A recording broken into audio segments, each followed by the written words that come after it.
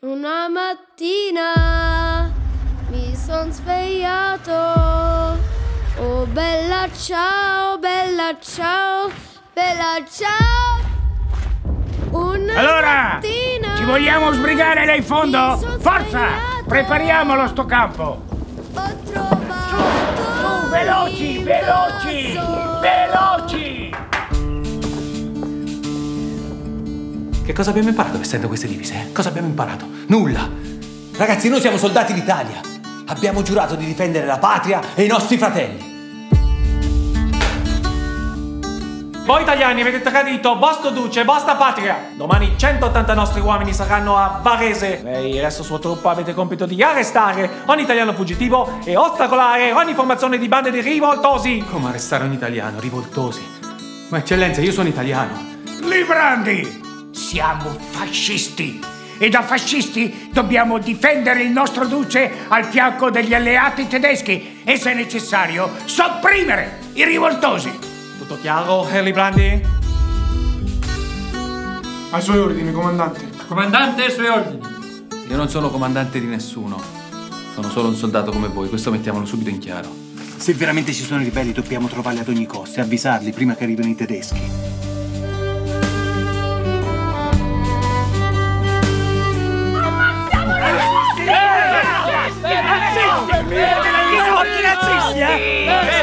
Soldati, Noi mettiamo al primo posto l'Italia, non l'ideologia, siamo ancora soldati! Sono compagni come noi. Stanno arrivando 200 tedeschi. Siamo venuti per unirci a voi e informarvi. Chi va là? Ti manda Faina. Cerchiamo il colonnello Croce. Chi è il vostro capo? Il partigiano Mico. Sei tu il capo? Tenente, io non comando nessuno, guido solo il camion scegliendo le strade. E parlo di più. Parli di più e quando parli ti ascoltano. Sembra di sì. Bene, partigiano amico, ora vuol dire che sei tu il capo.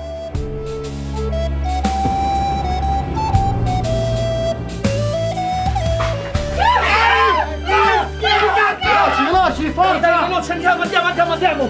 Vai, vai, vai.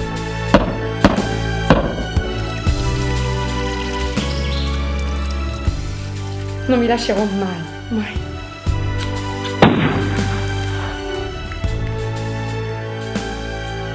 Non ti dimenticherò mai.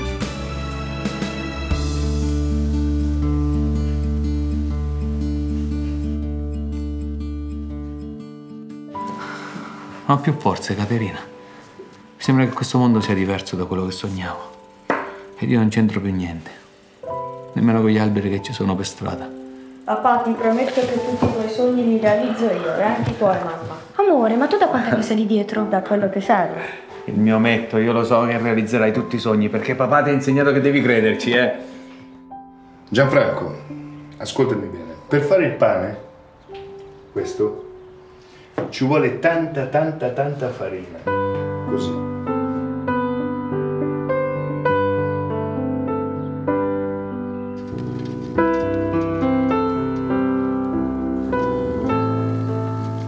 È così che bisogna fare. Avere dei punti di riferimento. Quanta luce c'è lassù. Le stelle, la luna.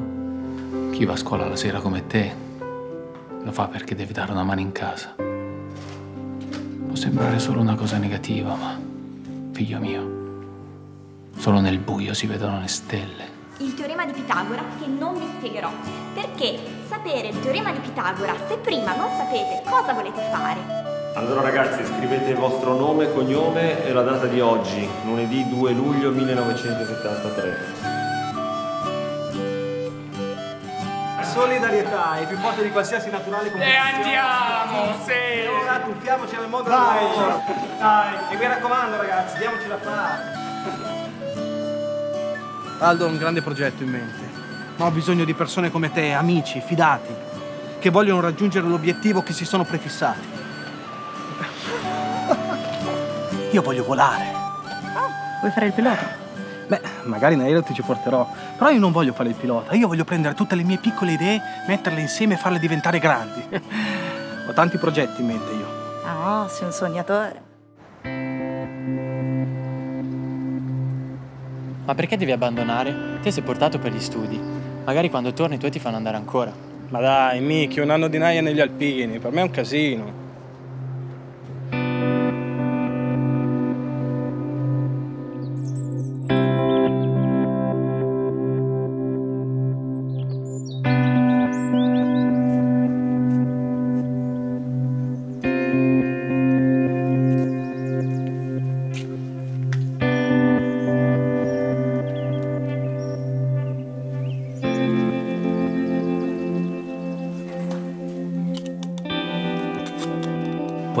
Formazione e se hai delle idee me le vieni a dire. E se le idee sono buone le realizziamo. Dottore, io voglio imparare da lei e sviluppare concretamente le mie idee commerciali. Sono pronto. Bravo ragazzo. Bravo.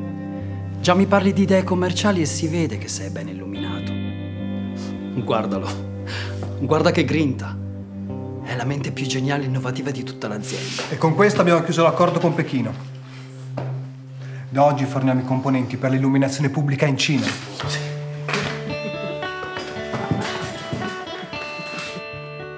Vedi, noi abbiamo un'azienda che si espande su 30.000 metri quadrati.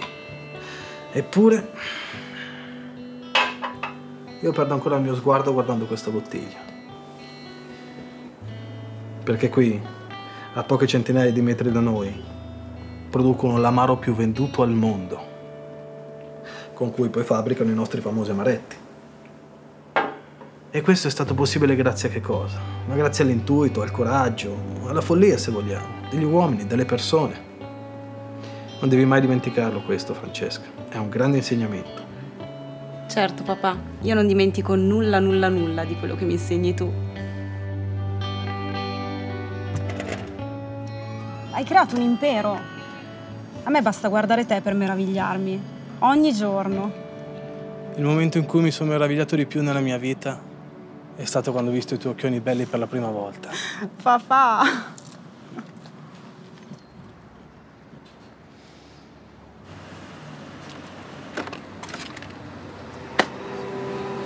Ma non pensi che entrare in politica possa essere troppo pericoloso? Ma eh, Gianfranco, sei riuscito in tutto. Hai vinto la tua scommessa. Ma perché la politica, fratello? Perché con l'impresa che porti modernità e innovazione, mai con la politica che superi le differenze sociali. E noi dobbiamo guardare al futuro, al prossimo e creare un mondo migliore. E questo, caro Massimo, lo puoi fare solo con la politica. Io sono una persona luminosa. La luce mi ha accompagnato per tutta la mia vita come gli amici. Ma oggi più che mai dobbiamo unire le forze e far tornare primari gli ideali liberali. Adesso all'elenco dei consiglieri comunali eletti. Gianfranco Librandi, Lorenzo Azzi. Le faccio un'ultima domanda, onorevole Librandi. Oggi l'Europa è una nuova frontiera? Ma l'Europa ormai è senza frontiere e soprattutto bisogna guardare avanti. L'Africa, per esempio. La politica deve capire questo, che è dalla povertà e dalla difficoltà che si traggono le energie migliori. E se non hai capito questo, non hai capito nulla dell'uomo, del suo coraggio, della sua determinazione, che è capace di cadere e poi rialzarsi più forte di prima. È come quando cadi dalla bicicletta, devi avere il coraggio e la forza di rialzarti e dare un'ultima pedalata.